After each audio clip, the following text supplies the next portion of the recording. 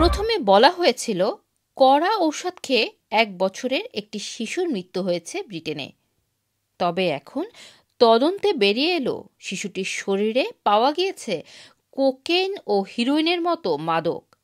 সম্প্রতি যুক্তরাজ্যের কোর্টের পক্ষ থেকে বলা হয়েছে, দুই হাজার সতেরো সালের উনত্রিশ এপ্রিল ইংল্যান্ডের মিডলসব্রোতে এক বছরের শিশুর মৃত্যু হয়।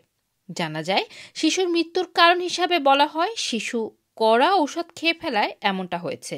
তবে দুই হাজার সতেরো সালে ইংল্যান্ডের সেই ঘটনার অনুসন্ধানে চাঞ্চল্যকর তথ্য প্রকাশ্যে এলো। জানা গেল, ছোট এই শিশুটির দেহে কোকেইন ও হিরোইনের মতো মাদক পাওয়া গিয়েছে। কোর্ট বলছে, দুই হাজার সতেরো সালের উনত্রিশ এপ্রিল ইংল্যান্ডের মিডলসব্রোতে মৃত্যু হয় এক বছরের জ্যাকসন নামের এই শিশুর। প্রথমে বাড়ির সোফায় অচেতন অবস্থায় পড়েছিল শিশুটি। তার দেহ ধূসর বর্ণের হয়ে যায় আর এমনটা দেখে শিশুটির বাবা মা হাসপাতালে নিয়ে যায়।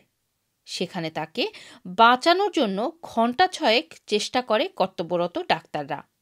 অনেক চেষ্টা করেও ডাক্তাররা শিশুটিকে বাঁচাতে পারেনি। তবে শিশুটির এমন অসুস্থতা ও মৃত্যু দেখে ডাক্তারদের সন্দেহ হয়। এই ঘটনায় জ্যাকসনের বাবা এনরিউ ও মা এনিউর বিরুদ্ধে হত্যার অভিযোগ আনা হয় তারপরেই। কিন্তু পরে তাদের সব অভিযোগ থেকে মুক্তও করে। সেই সঙ্গে বলা হয় যে, অতিরিক্ত মাত্রায় কড়া ঔষধ খাওয়ার ফলেই ব্রঙ্কো নিউমোনিয়ায় আক্রান্ত হয়ে মৃত্যু হয় শিশুটির। তবে আবার কোর্ট বিষয়টি নিয়ে তদন্ত করে। এখানে সম্প্রতি টিসাইড করোনার্স আদালত এই ঘটনার অনুসন্ধানে রিপোর্ট তুলে ধরতেই জ্যাকসনের মৃত্যুর কারণ প্রকাশ্যে আসে। ময়না তদন্তের রিপোর্টে উল্লেখ করা হয়েছে, জ্যাকসনের শরীরে কড়া মাত্রার ঔষধ মারাত্মক পরিমাণে ছিল। একই সাথে তার পাশাপাশি কোকেন, মরফিন, নিকোটিনও পাওয়া গিয়েছে। এর পেছনে কি রহস্য থাকতে পারে তা নিয়ে চর্চা চলছে। অনেকের মতে এই ঘটনার জন্য পরিবেশ ঘটিত বিষয় ও অনেকখানিও দায়ী বলে মনে করছে।